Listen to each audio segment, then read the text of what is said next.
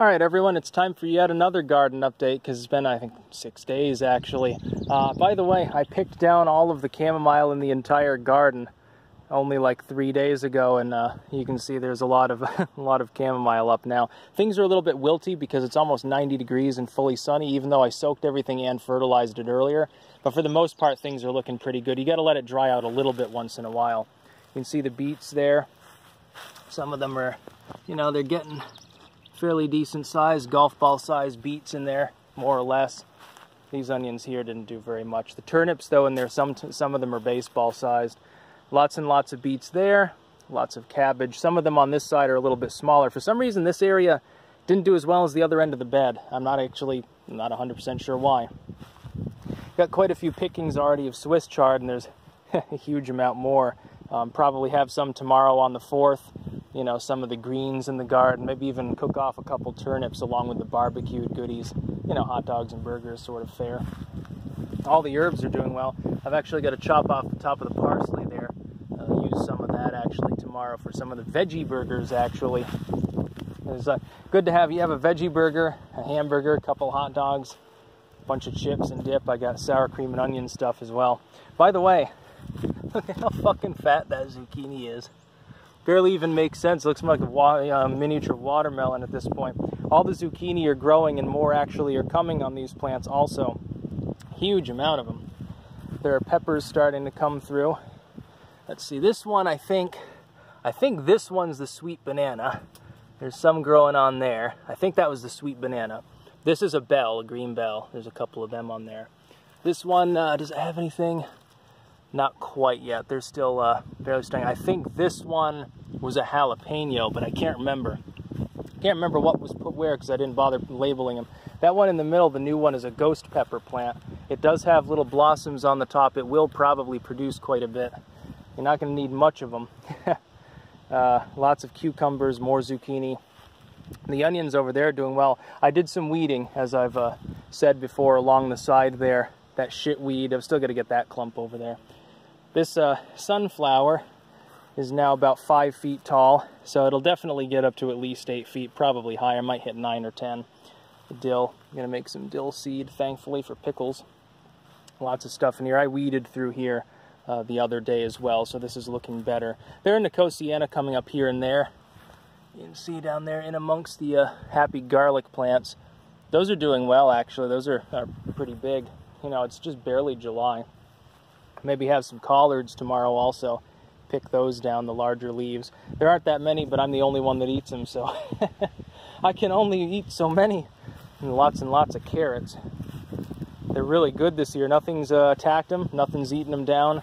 The tomatoes, there are actually a few, I didn't notice this until today. There are actually tomatoes in there.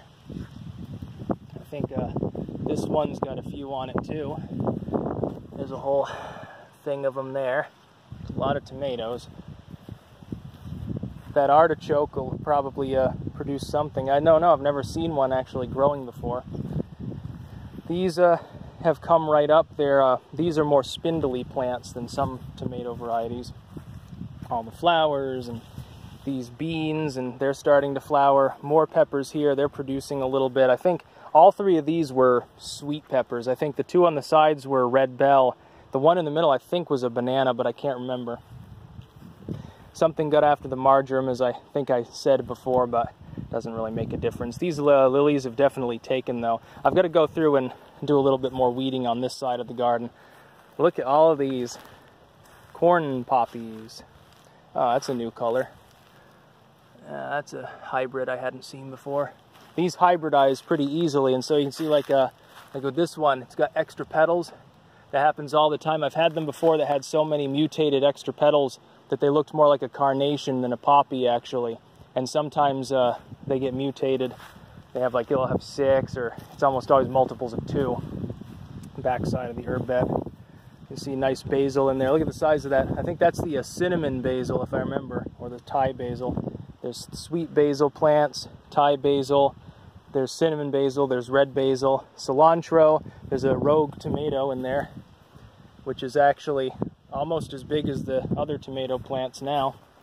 It'll produce. It's almost certainly a cherry, but uh, if I had my druthers, it'd be a Roma because those are good for, uh, you know, make sauces and shit.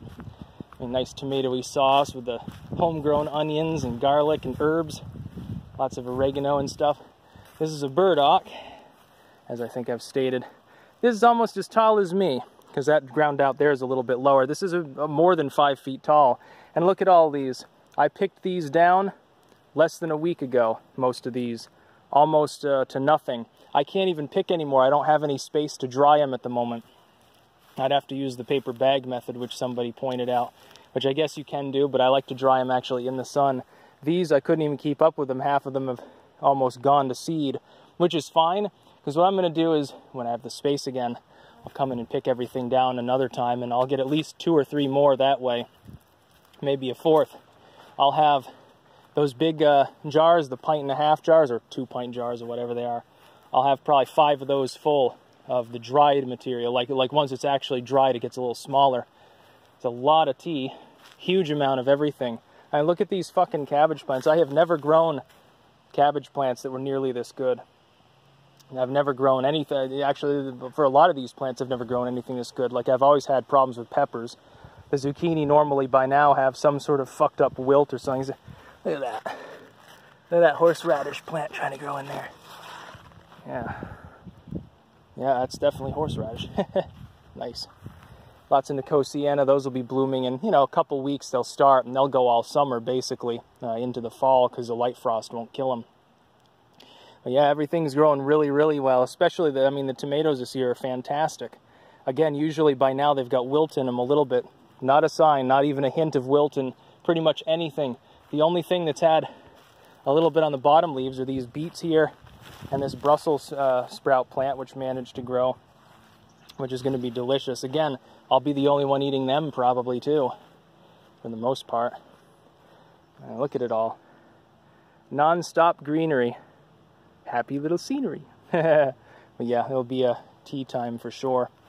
Gonna have to start drinking more of it. I mean, won't be able to keep up with it dry. Might as well drink it fresh too. I should just lop off all the flowers and just uh, give it all to the neighbors or something. I don't know. I don't know if anyone around here is really a tea drinker. Coffee is more common. It's because coffee is better for a lot of things. I know I'm an American. It's almost the 4th of July. No tea allowed on the 4th of July. You goofy Britishers. That's about all. Peace out.